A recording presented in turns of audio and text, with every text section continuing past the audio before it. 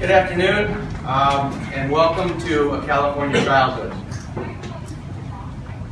My name is Michael Verne. I'm the owner and president of the Verne Collection of Japanese Art. The gallery has never quite looked like this before. I decided to do this show. Uh, I decided to do this show about seven months ago for about four reasons, and I only can remember three of them. Um, the first reason uh, that I decided to do this show is that so many times when families come together, it's for a sad, sad occasion or somebody passes away and everybody gets together. so the main reason for this was to get as many members of my family here to Cleveland to celebrate while we're all healthy. my mom is 93 years old. Uh, she was here last night, but she's not in the best of health. But she did make it here last night.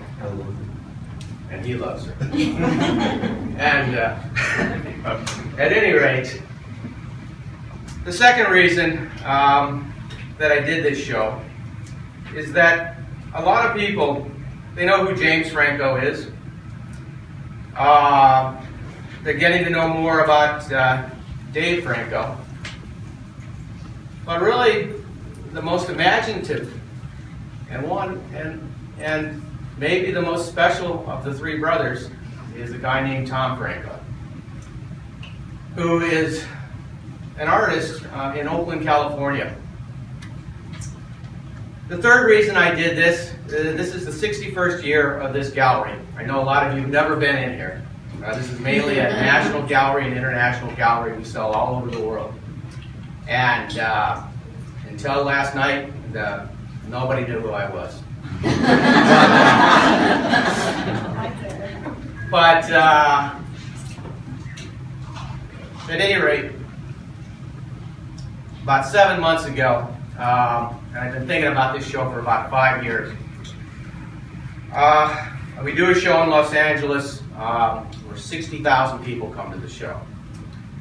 And uh, James who was in Los Angeles at the time and uh, came to the show. And we had a few minutes to talk, and I said, "What would you think about doing a show with your brother in Cleveland, Ohio? I know you're really busy. I know you're doing five books and movies and plays and everything else." And I was sure he was going to say, "Oh, Mike, I'm sorry. I, you know, I just can't do it."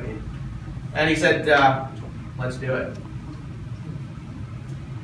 And it changed about uh, the show changed about ten times from what it started out to be, and because uh, James's schedule is not something that anybody can control. And uh, the next week I had a show in San Francisco, and um, Tom lives in Oakland, and we were having dinner one night. And when I do these shows, I'm really, really focused, and uh, most of the time I you know, I'm even if I'm with my nephews or something, my mind is really thinking about, you know, how can I survive in the art world? And so I'm sort of half listening and, and half talking to my family. But this time I was really, really listening, and uh, and I asked Tom, uh, you know, what would you think of doing a show with your brother? And uh, he said, uh, I'm in. So uh, I started planning out this show, and it kept changing. Uh, the dates kept changing, the times kept changing. when everybody could be here, it kept changing. And about two months ago, I thought it was important that I go out to Oakland to see who Tom Franco really is. So I went out on a Friday night. I stayed in a place called Emeryville, which is a, about a mile outside of Oakland. I woke up that morning on Saturday morning and I was going to meet with Tom at 11 and I asked the front desk clerk, uh, I said, where's a good place to have breakfast? Uh, it's not some chain or something. and uh, he says, well, there's this little diner and it's called Rudy's I Can't Fail. And uh, I said, is it easy to get to? He says, yeah, it's just about a half a mile. You go over this bridge and you'll see it. And uh, I'm directionally challenged, so I went out, I went over the bridge, tried to find this place for about 45 minutes. Couldn't find it. And finally, I was just about to give up and go back and just eat some Marriott food. And uh, this policeman pulled up, and I said, Do "You have any idea where this Rudy's I Can't Fail is?" And uh, he was really nice. He says, "It's right in front of you," and it was. Um, but this gallery, um, the movie Rudy, you know, when I when I don't do this, I'm really interested in sports. But the movie movie Rudy is sort of one of my favorite movies of all time because you know if a gallery in Cleveland, you know, can make it um, against all the big galleries in New York and Paris and London and Munich, and that's what this show is also about um, because uh, this is about my family. And if I screw this up, my whole family is going to kill me.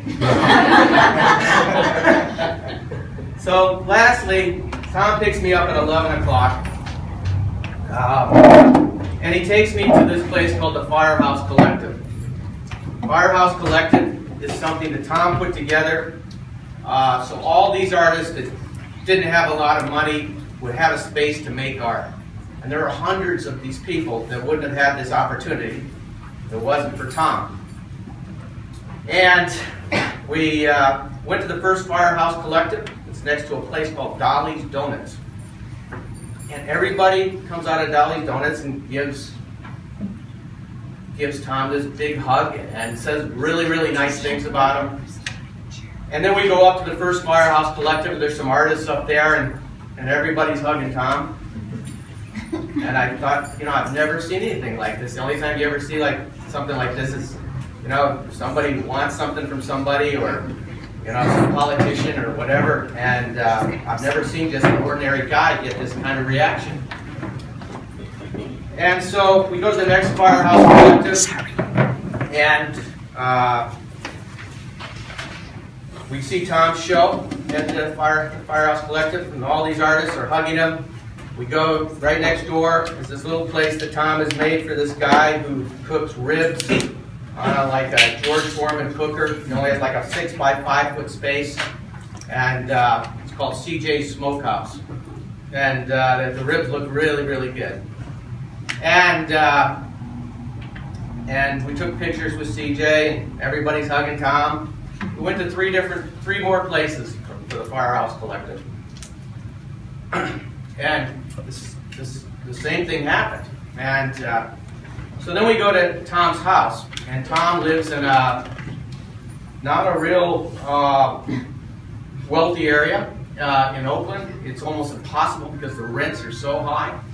And it's like this old warehouse. We go through these gates that electronically open, and uh, we step into Tom's backyard, and there's all these paint cans and toy parts and furniture parts and every part you could imagine. You can't even walk. And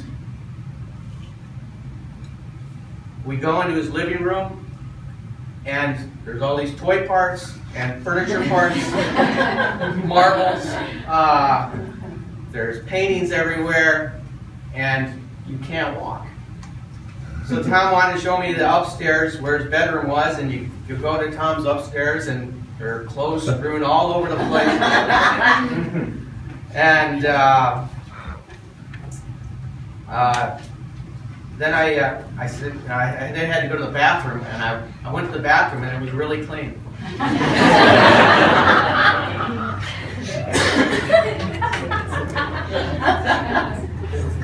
I forgot the last part here. On one second. yeah. Hold on. Practice this in the shower.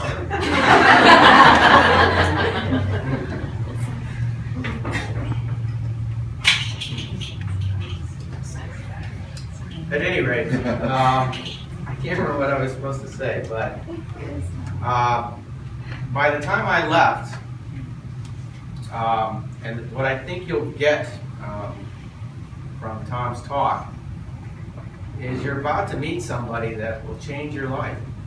Um, California childhood is, is about believing again like when you were 5 or 12 years old, when you thought anything was possible and all your dreams might come true. And when you become an adult, you know, a lot of people put doubts in your mind.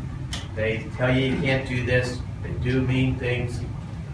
But uh, if you look at the wish box, you look at the dragon toaster, um, you look at Tower 1 and Tower 2, you, you really realize that, um, that anything is, is possible. And it changed my life that one day I spent in Oakland.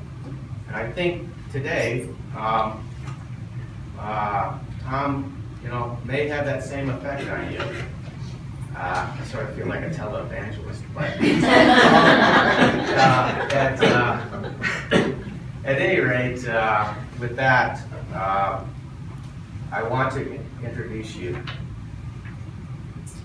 to the other talented, brilliant, and magical nephew Thank you.